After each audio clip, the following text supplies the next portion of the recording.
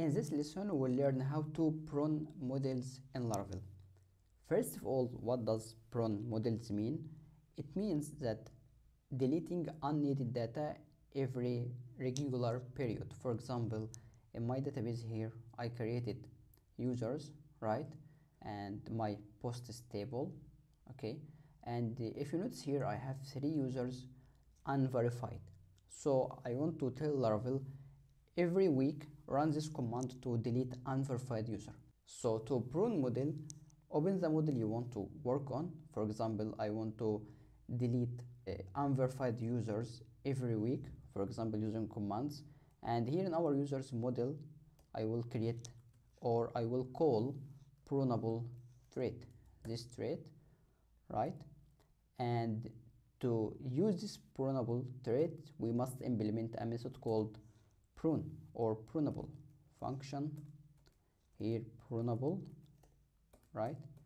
And it takes the condition. So I tell him to delete where email verified at equal to null.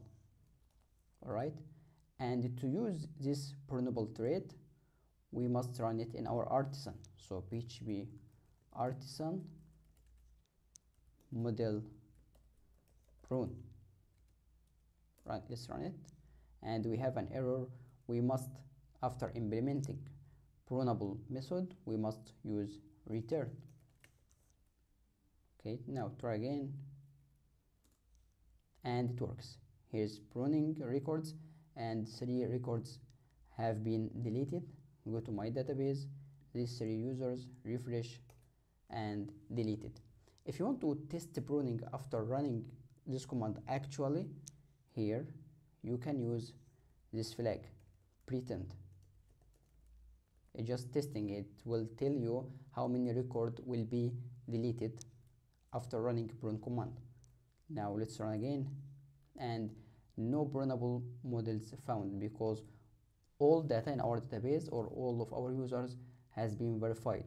So if we set it to null for example here this value null save and let's try this here to test what will happen if I or how many users will be deleted after running the command.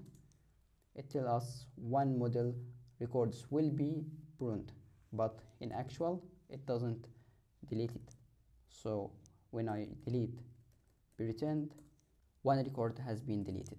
Refresh again and here is our model if you notice here in our posts table we have some users or deleted users has relationship with posts. And I want to delete these relations first before pruning. So to do that here in our model we can implement a function called pruning. Pruning. And I want to say to him before deleting or pruning it do something so while deleting or before deleting delete posts of that user. Here delete because I have one to many relationship here between user and posts. So if I go to my database users I want to set this user for null.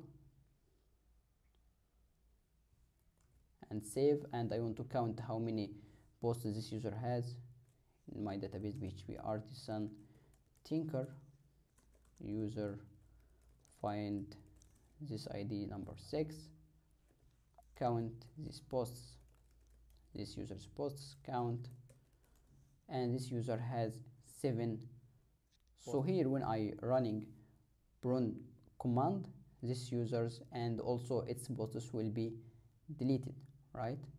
So go here clear run php artisan. Sorry artisan model prune. And one record. Deleted. And if I open tinker and post where user id equal to 6 count. No users here if notice right? Also here in our post I will create another prune prunable and I want to delete inactive posts. So here function prunable and return this where active equal to 0 in my post table here this one I have active column. Some posts are active and others are inactive.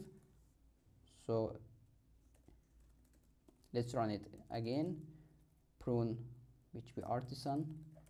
Model prune. You will notice something here.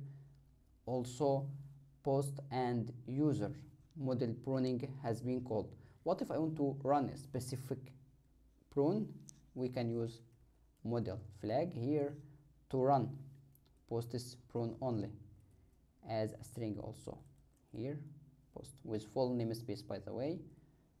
Post run again and all of our inactive posts have been deleted before. For example if I want to delete if I want to delete active uh, posts run again and only specific model whose post has been worked. You can also use these commands in the kernel as a console command and you can schedule it. For example schedule command any artisan command here php artisan prune a string sorry model prune here. And in the second array you can specify the parameter argument. So for example run only model command. You can use something like that. Post right class class and also user class. Also instead of model you can accept do some exceptions. So run all prune for example except it also accept this except flag. Here is how to prune models in your Laravel application see you in next lessons